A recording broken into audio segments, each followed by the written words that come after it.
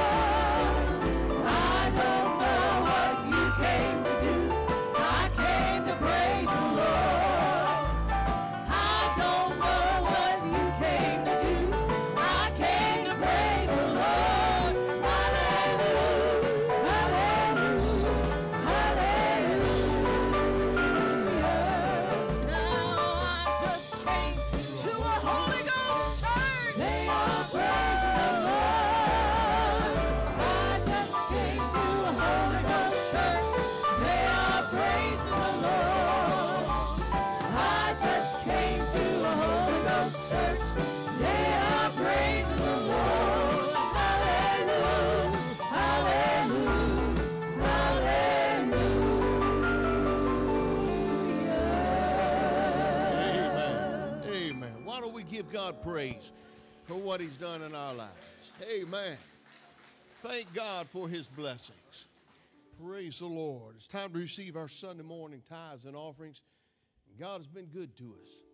I say it over and over and over again. I say it every Sunday, every time I get a chance, because He has been good to us. And we can never thank Him enough for all He's done. Amen. Amen. Brother Daniel, if you would ask the blessings on this part of the service, please. Thank you, Jesus. Come to worship you. Hallelujah.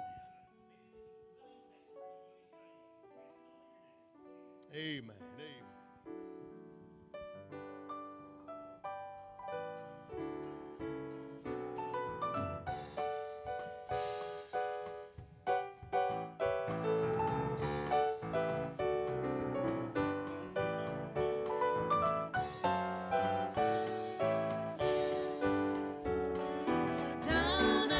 Cross where my Savior died, for cleansing from sin I cried, there to my heart was the blood applied.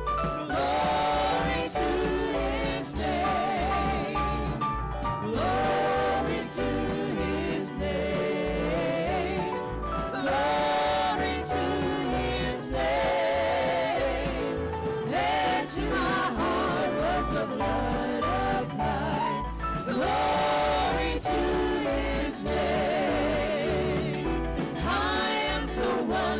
wondrously saved from sin. Jesus so sweetly abides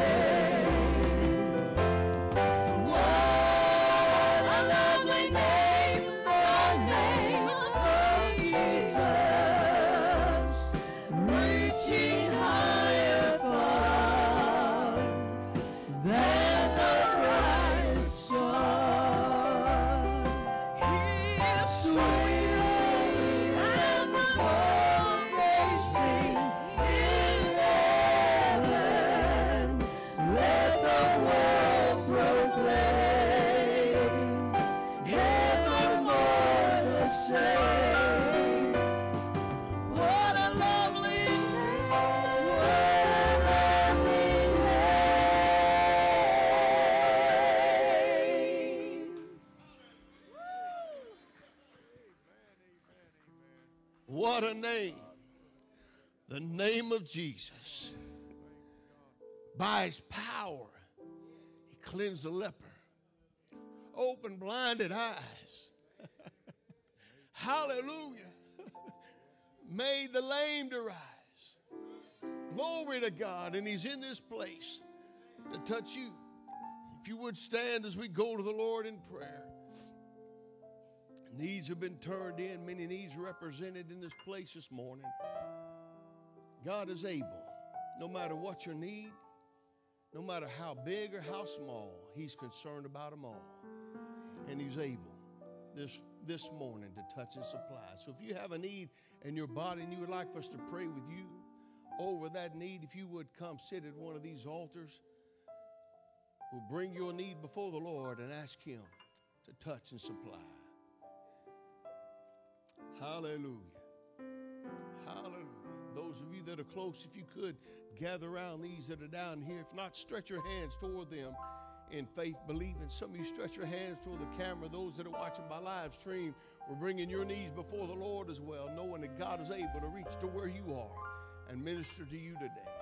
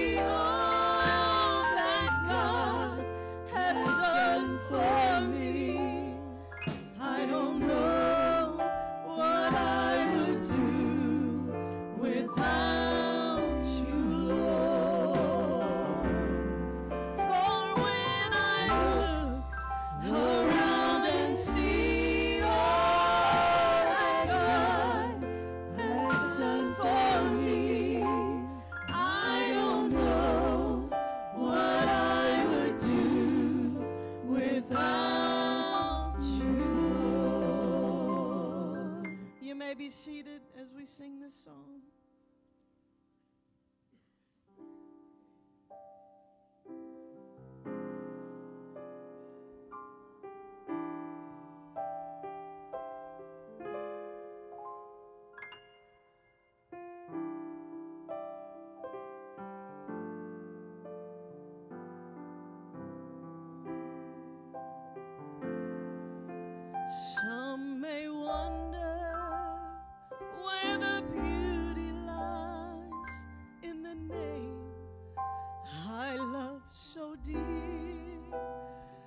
Well, it's not just in the way it sounds when it falls upon my ear, and it's not just in the way it looks when it's written beautifully, but the beauty of that lovely in the power.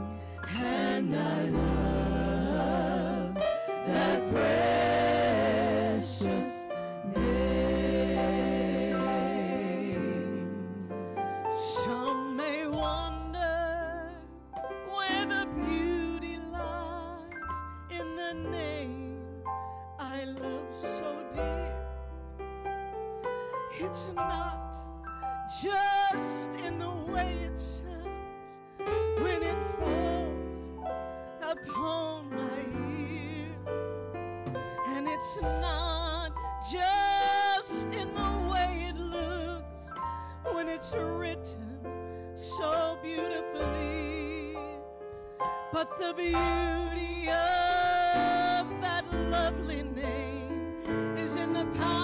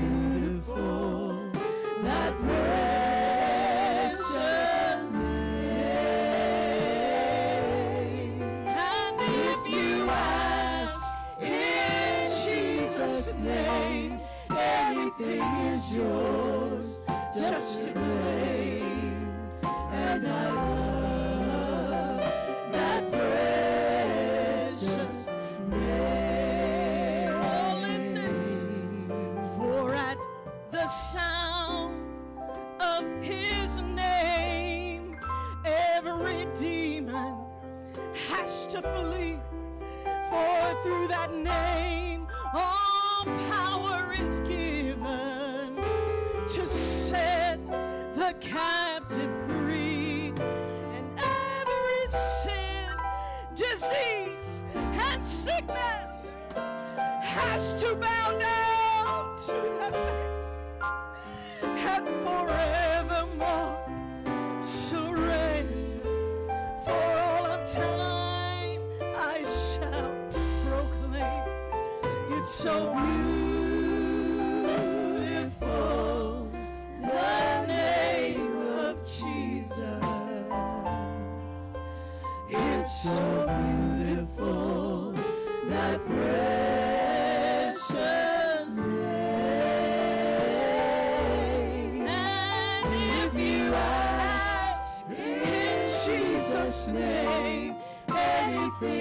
just to claim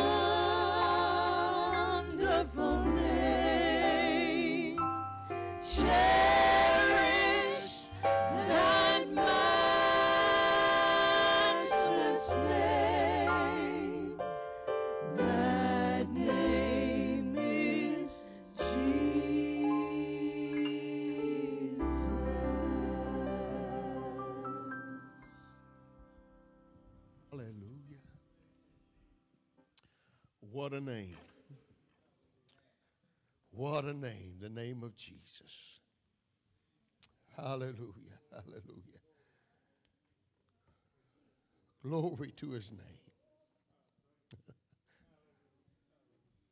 Thank you, Lord, for your presence. Thank you for what we feel in this room this morning. Hallelujah. Hallelujah. Church,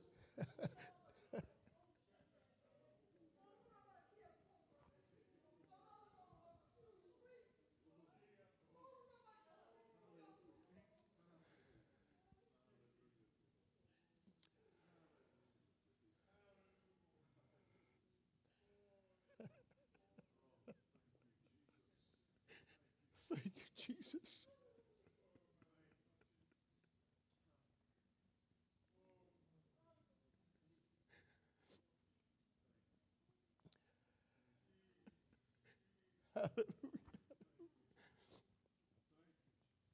Speak to us, Lord. Speak to us. Hallelujah.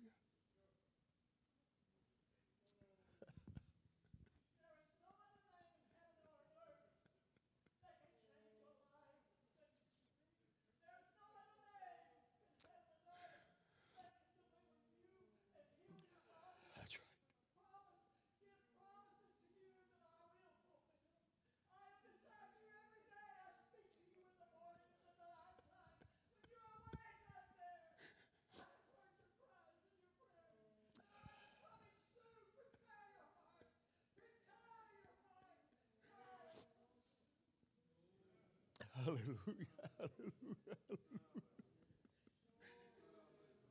Thank you, Jesus.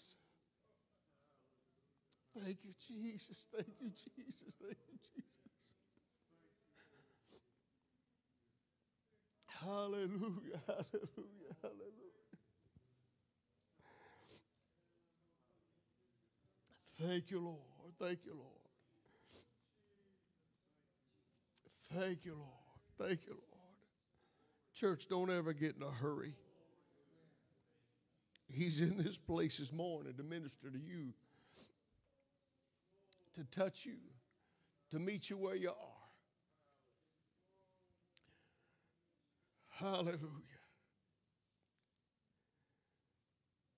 Too many times we get in a hurry when we rush through things and we miss out on what God has in store for us.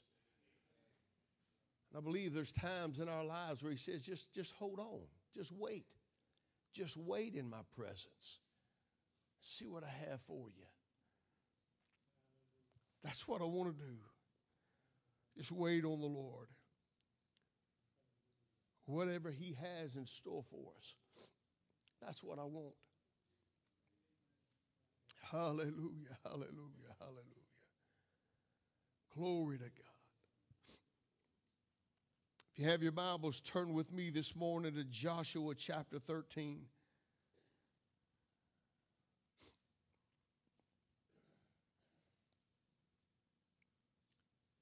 Joshua chapter 13 and verse 1. It says, Now Joshua was old and stricken in years. And the Lord said unto him, Thou art old and stricken in years, and there remaineth yet very much land to be possessed. I want us to look at this testimony of Joshua and compare his situation to ours individually, as families, and as a church.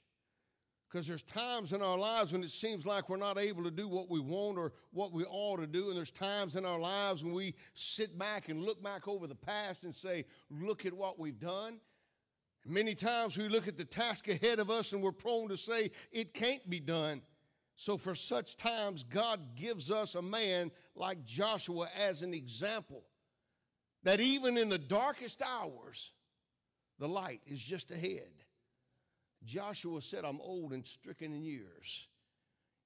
God said, Yeah, you're old and stricken in years, but there remaineth very much land to be possessed. You may go to your seat this morning. I want to preach to you for a few moments. We have so much more to do. We have so much more to do.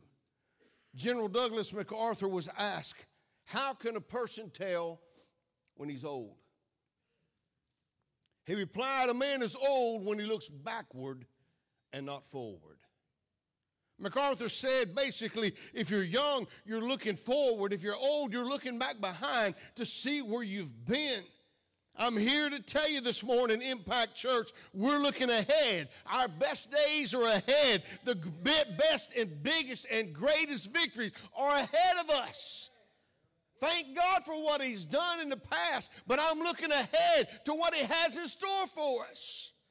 Joshua was only old in years. He was stricken in age by years. Joshua was, was given the command by God, there remaineth yet very much land to be possessed. That's what the prophet meant when he said, Where there's no vision, the people perish. Church, are we young or are we old? It will depend upon which way we look. Do we have a vision for the future? Are there victories yet to be won? Are there battles that stir you enough to make your back bristle? Are there challenges that we still want to meet? Are there goals that we still want to set? I'm here to tell you there's so much more land to be possessed.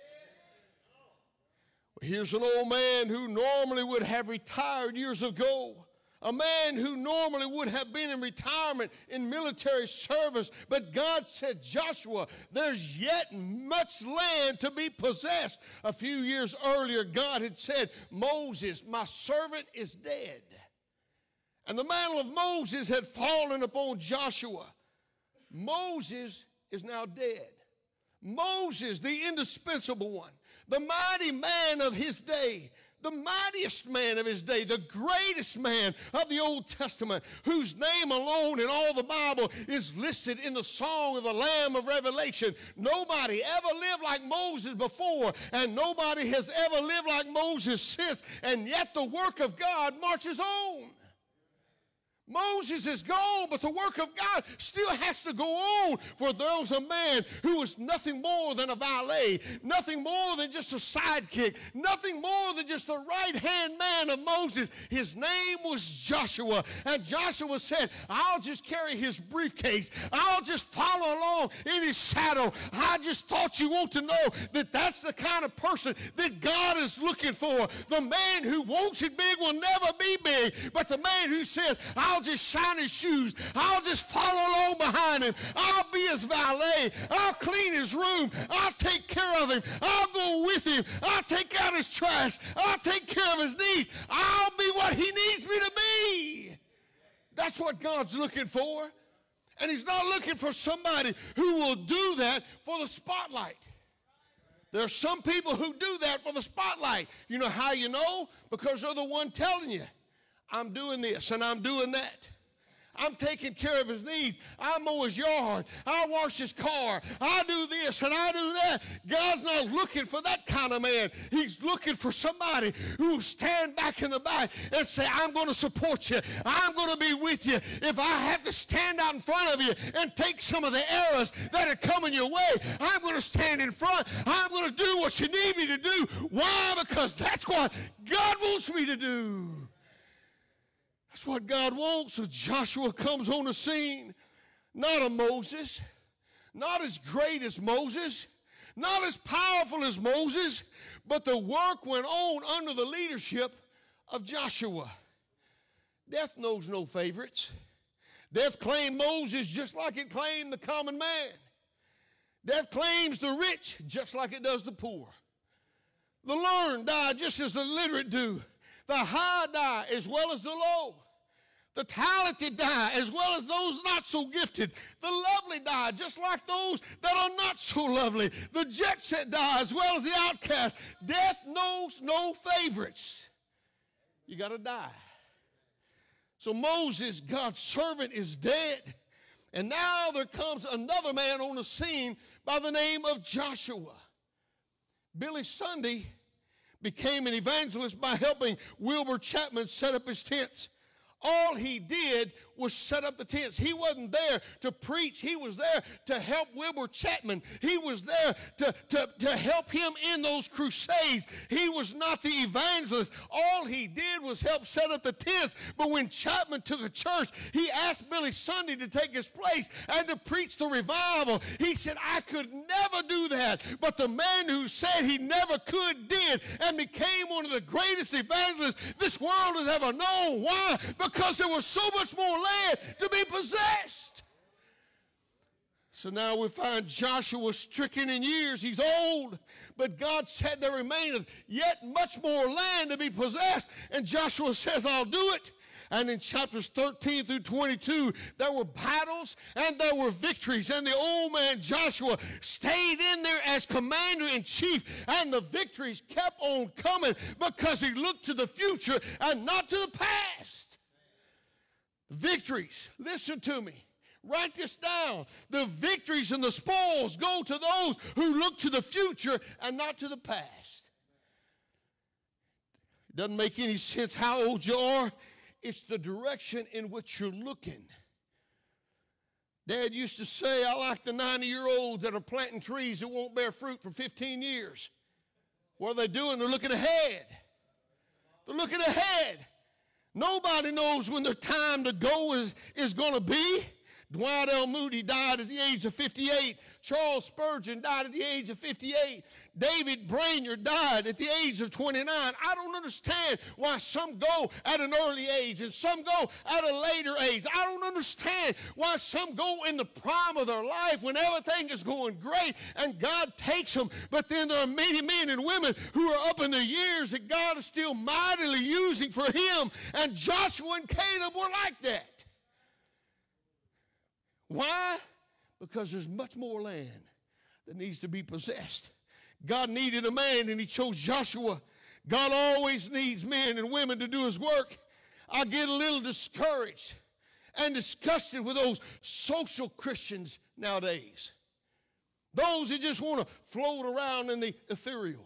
They want to float around in the heavens and expect God to do all the work. All they want is the blessing. All they want is the hype. All they want is the sensation and the experience and the joy and the jerk and the shout and the shake. You couldn't get them to move a stone to help somebody if your life depended upon it. You need to know that God has never done the work by himself if men didn't yield themselves.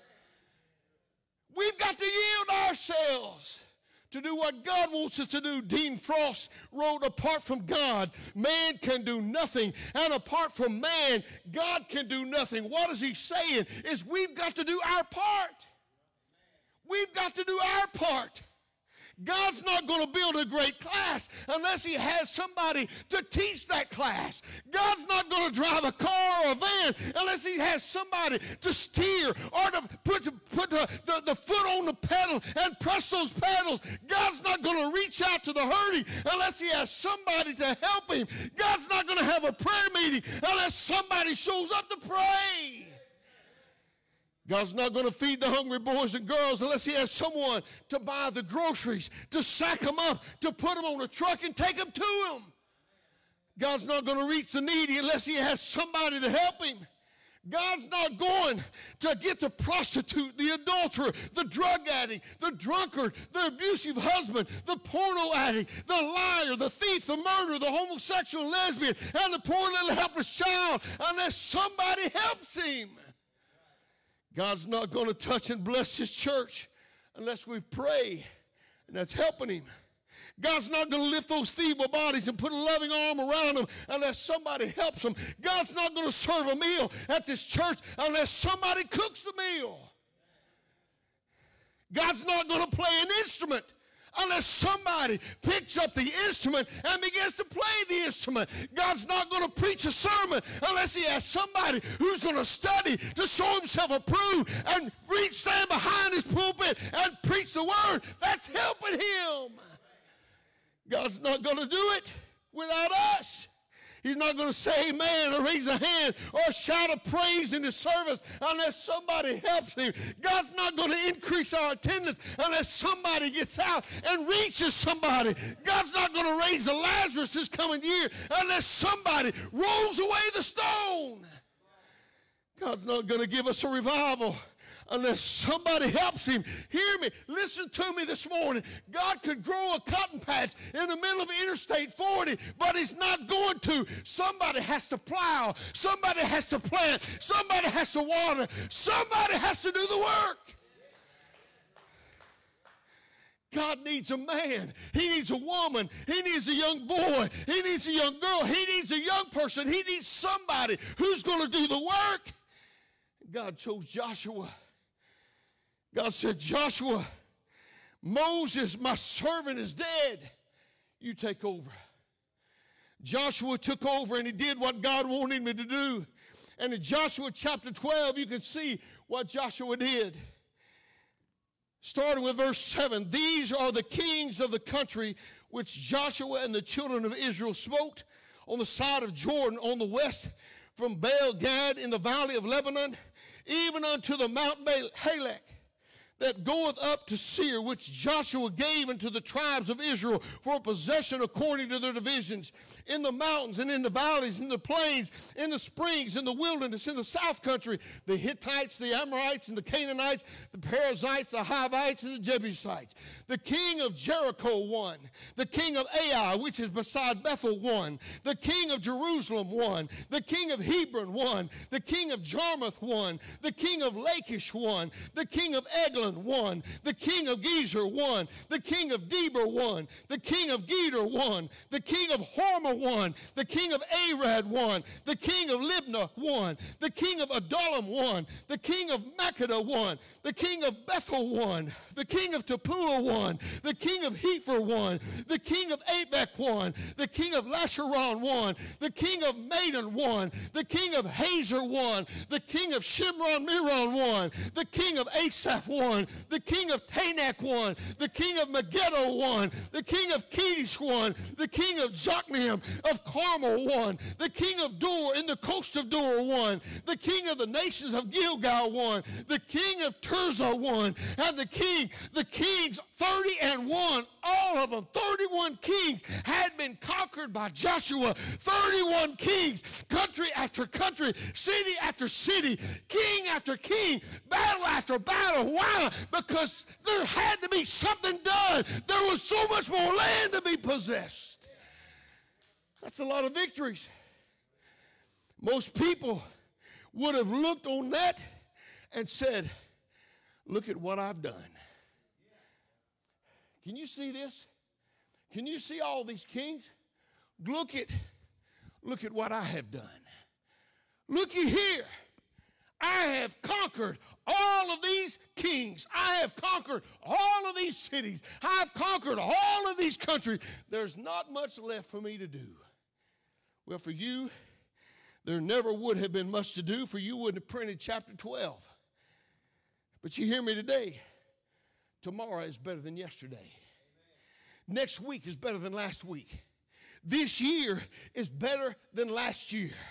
This century is better than the last century. The future is better than the past. God said, Joshua, I see what you've done, but there remaineth much land. There's so much more to be possessed. And goes on in chapter 13, it says, This is a land that yet remaineth. This land, this land, this king, this place, this is the place, this is a land. There's so much more, Joshua, for you to do.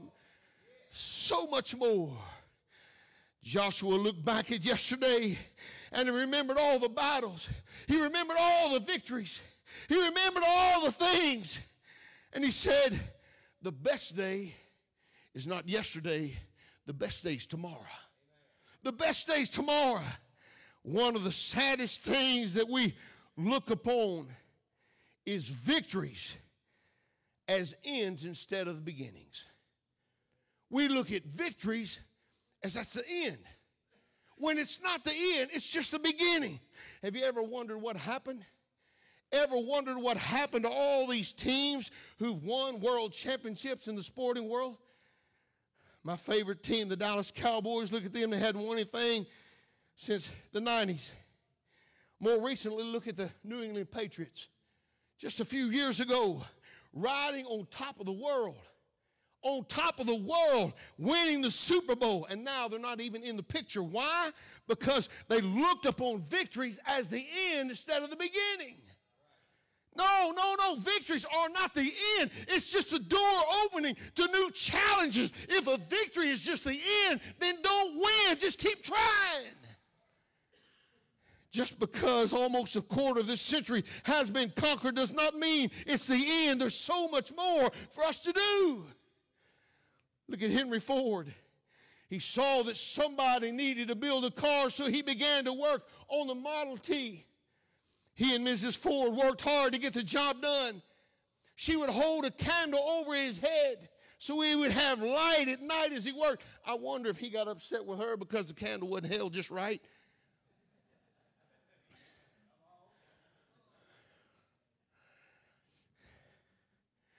She'd go get the gasoline to put it in the little engines. She would give him the nuts and the screws and the bolts and the pipes. And they together labeled, labored together to build the Model T Ford. When they got it built, they found out that the door wasn't built big enough to get the car out of the room that they were in, so they had to tear the wall down so that they get the car out and then had to build the wall back. Henry Ford say, This is it? That's all I'm going to do? No, no, no. That was just the beginning. He kept on going, and we can credit the assembly line process to him because he wanted everybody to be able to drive a car. Look at the Wright brothers. Few people have been criticized more than the Wright brothers were. The newspapers across the country were in almost unanimous against him uh, in opposition to what they, was, they were trying to do. What do you mean? Trying to build a machine that's heavier than space that can stay up in the air. But that they didn't stop there. They kept on going. They did it and they kept on going. Now we have jets, we have supersonics, we have satellites and missiles and space stations. Why? Because they didn't look at it as an end, but a beginning. They could have stopped a long time ago, but somebody said there's something bigger, there's something better, there's something greater. Where there is no vision, the people perish. Where there's no future, where there's no dream, where there's no goals, where there's no hopes, where tomorrow is not better than yesterday, the people perish. Same is true in the church. Those who have done great things for God have looked towards tomorrow as the greatest day ever instead of looking at yesterday. What about it, church? What about it, impact? Which is more important, yesterday or tomorrow? Which is the greatest year of your life? Some year in the past or next year or some year coming up where I'm looking forward to the future to see what God has. Joshua, you don't have time to sit down. There's so much more land to be possessed. There's much more to do. God always has a way for us to keep on going and keep going forward. As the song says, I'm pressing on the upward way. New heights I'm gaining every day. Still praying as I onward bound. Lord, plant my feet on higher ground. I've had people come in the years I've been in ministry and come to me and say, Brother Torrance, can't do what I used to do. I'm going to have to quit. The titles, the positions, the things that I'm doing, I'm going to have to back away. I've got too many irons in the fire. I've got to slow down. God, that the position that I have in the church, I'm going to have to step away for a while. My role in prayer, my role in witnessing and visiting, and my faithfulness. No, no, no. Listen to me. Now is not the time to quit. Now is not the time to stop. This is the day to restart and to start shifting to overdrive. Tomorrow is a brighter day. Tomorrow is the greatest day. Our next hour is our grandest hour. Next week is our best week. Next year is our our best year. If you quit now, you'll miss out on what God has in store, and you're a vital part. Don't quit. There's so much more land to be possessed. This is our time, church. This is our time. Joshua, there's so much more land to be possessed. There's a lot of land left to be conquered. The job's not yet done. You must remember that this is not a new thing for Joshua. He didn't learn to be optimistic yesterday or today. Remember, decades ago in Kadesh Barnea, remember the story? The Israelites had gone forward until they came to the very door of the promised land. Moses appointed a committee of 12 to go look over into the promised land, and 10 came back and said, We can't do it. There's no way. Those men are giants. We're grasshoppers in their sight. We cannot go up and possess the land. But there were two, Brother Joshua and Brother Caleb, who said we can. Brother Caleb said we can do it. The other ten said we're like grasshoppers in their sight. There's no way we can go. He said, Oh, we'd like to do it. We'd like to go. The land flows with milk and honey. The grapes and the pomegranates are huge. It's unbelievable. It sure would be nice, but we can't do it. They're like giants in our sight, and we're just grasshoppers. But Brother Caleb and Brother Joshua said, We can do it. We can do it. There's much land to be possessed. We can go. And they did it. You know what happened to the other men? They died in middle age. Why not? They weren't going anywhere, they weren't doing anything. Caleb and Joshua must have followed close to Moses. They were all up in years, but they believed the job could be done. Moses uh, was 120 years old and didn't even have a pair of glasses. Caleb and Joshua were the same. The two men who said at 40, let's go over and possess the land, at 80 are still saying, come on, let's go. We can do it. We can do it. There's an old course that says we're able to go up and take the country, to possess the land from the Jordan to the sea. Though the giants may be there, our way to hinder, God will surely give us the victory. I believe at 40, God said, I'm going to keep those folks young so that when they get there, they'll be able to enjoy the land. Caleb and Joshua kept on going and kept on going, and they didn't stop. That's the way it is with individuals. That's the way it is with families. That's the way it is with businesses. That's the way it is with church. Keep on going. Don't stop. There's much land to be possessed. I believe the greatest day for this church can be in the future. We haven't achieved yet. There's a lot to be done. We can certainly look to the past, say how wonderful it is. In fact, Dad had on the wall to remind us, though the past be glorious, the best is yet to become, yet, yet to come. Just look where the Lord's brought us. From a crowded room over in the office that wasn't any bigger than the size of this platform to this beautiful sanctuary. Look at where the Lord has brought us. Now we can look back and say, well, how wonderful that is and how beautiful it is, and look at what we've done and look at the feather in my cap. But no, we don't look at it that way. We look at it as look at where the Lord has brought us so he can take us even further. He has much more land for us to possess. They told Dad when he came in here, when he came here in 1980, that it couldn't be done. When he started doing it, said it can't be done the way you're doing it. Kept on going. They said it won't last. Let me just tell you, it was done, and he did it right, and it lasted till he was gone. They've said it about us as well. And look at where the Lord's brought us.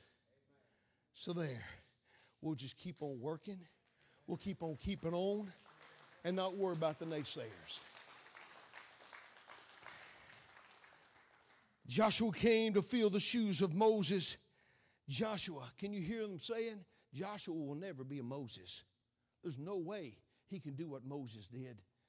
Look at who he's following. There will never be another Moses. This man who has his name in the Song of the Lamb in Revelation the greatest man in the Old Testament, Joshua could have said, Yeah, I'll never be him. I'll never be like him, and just quit right then. He could have said, Lord, look at what I've already done. Let me relax and enjoy what I have accomplished. Lord, I'm up in years. God said, Yeah, Joshua, you are up in years, but I've got much more land for you to possess. So there's so much more for you to do, Joshua.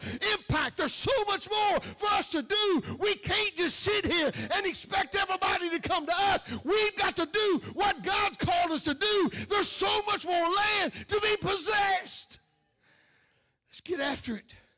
Let's get after it. Listen to me, Impact. There's so much more for us to do as long as there's one little boy or one little girl without love We'll work. As long as there's one family that's hurting We'll work. As long as there's one kid that goes home from school on a Friday without food for the weekend We'll work. As long as there's one man at the gate crying We'll work. As long as there's one single parent that's struggling We'll work. As long as there's one drug addict bound by the we will work. As long as there's one person crying at this altar, we will work. As long as there's one person on Wednesday night Bible study wanting to hear the word, we'll work. As long as there's one bed weary person in the nursing home, we will work. As long as there's one little boy and girl that will ride a van to church, we're going to work. We're going to work. As long as there's one person who wants to worship with these singers and musicians, we're going to work. As long as there's one person who wants to hear the gospel preached, we're going to work. As long as there's one soul wanting to be saved, we're going to work. As long as one sick body needs healing, we're going to work. As long as there's one abused wife or child wanting deliverance, we're going to work. As long as there's someone wanting to worship in spirit and in truth, we're going to work. We're going to work. Stand your feet across this place. There's so much more land to be possessed. We have so much more to do, church. We can't look back and say, look at where we've come from and where we are. look at those past laurels and boast about it. There's much more land to be possessed. And we will believe God for the victories until we hear the trumpet sound, until we see Him face to face, until we're called away. We're able to go up and possess this land. We're able to possess this land. Are you with me? Are you with me? Is there anybody in this room that says, I'm going to work? I'm going to be what God wants me to be. I'm not going to sit back and look back at what we've done, but I'm going to look forward and say, God, there's so many more victories ahead of us. There's so much more land for us to possess. Give us the boldness, give us the courage, give us the strength, give us the determination to reach that land and possess it for you. If that's you, and you say, I'm willing to work, I'm willing to be what God wants me to be and do what God wants me to do. I want you to come in unison around this place in mass. Come, feel this front. Put your hands in the air and say, Lord, I'm willing. I'm willing to be what you want me to be, to do what you want me to do, to go where you want me to go, so that we can possess this land. To possess this land for you. Hallelujah. Beautiful. What a beautiful sight. We're going to work. We're going to be what you've called us to be, what you want us to be. Hallelujah. We'll work, we'll work, we'll work. We'll work till Jesus comes.